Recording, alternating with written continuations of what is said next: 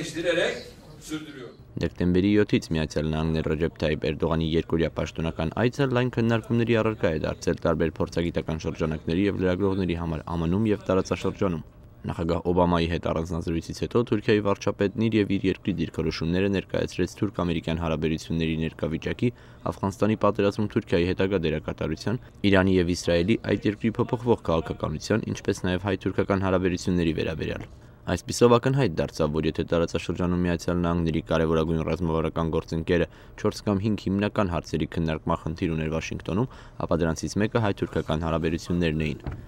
Armenian Reporters անգլալեզու շաբաթաթերթի Վաշինգտոնյան թղթակից Էմիլ Սանամյանի կարծիքով Թուրքիայի վարչապետի այցելությունն ի ցույց դրեց այն իրողությունը, որ այդ երկիրն այլևս նոր մարտահրավերներ է առաջադրում։ Թուրքիայի վարչապետը ըստ էության եկել էր ասելու, որ աշխարհի մի շարք կարևորագույն խնդիրների վերաբերյալ ինքն ու իր երկիրը ունեն անկախ մոտեցում եւ որ իրենց հետ պարտադրանքի լեզվով խոսելը այլևս ընդունելի չէ։ Նկատի ունենալով Իրանի միջուկային ծրագրերի շուրջ մոտեցումներում արևմուտքից էապես տարբերվելու, Գազայի հատվածի պաղեստինցի բնակչության դիրքերից Իսրայելին քննադատելու, ինչպես նաև Աֆղանստանում ընթացող պատերազմական գործողությունների նոր զինուշ չտրամադրելու հանգամանքները, Սանամյանն էական տարբերությունները տեսնում նաև հայկական խնդիրների առնչությամբ։ Եթե մինչ այս հայկական խնդիրներն ԱՄՆ-ի կողմից օգտագործվում էին Թուրքիայից Իրանի կամ Իրաքի հետ հարաբերություններում այս կամ այն զիջումները ստանալու տեսանկյունից, ապա այժմ թուրքերն այն օգտագործում են իրենց շահերի համար, ասելով, թե հայ-թուրքական հարաբերություններում իրենք են հիմնական դերակատարը եւ որ որևէ այլ պետություն իրավասու չէ խառնվելու այս հարցին the fact of the protocols to its advantage. Ջորջթաունի համալսարանի թուրքագիտության բաժնի ղեկավար Դեյվիդ Քասելի կարծիքով, սակայն Էրդողան-Օբամա հանդիպման ընթացքում հայ-թուրքական հարաբերությունները ստվերում էին հայտնվել այլ խնդիրների բազմազանության արդյունքում։ Կարծում եմ, որ հայ-թուրքական սահմանի բացումը կարող է լավ խթան հանդիսանալ նաև հայ-ադրբեջանական հարաբերությունների կարգավորման տեսանկյունից, սակայն սա չպետք է նախապայման դառնա համաձայնագրերի հաստատման համար։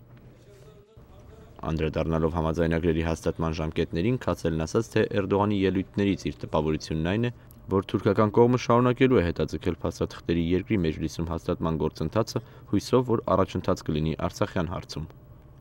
Ըստ Սանամյանի, սակայն թուրքական կողմն այս պահին մտադրություն չունի հաստատելու փաստաթղթերը։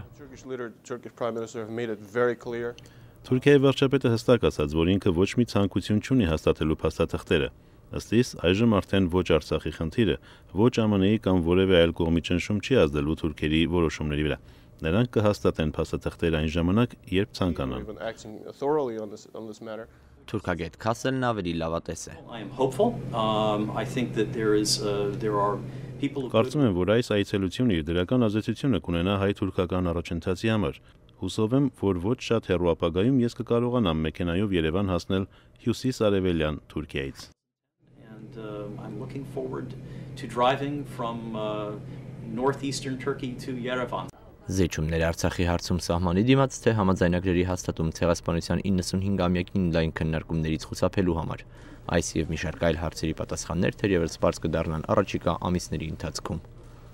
Արսեն Խարոզյան, Ամերիկայի ձայն, Վաշինգտոն։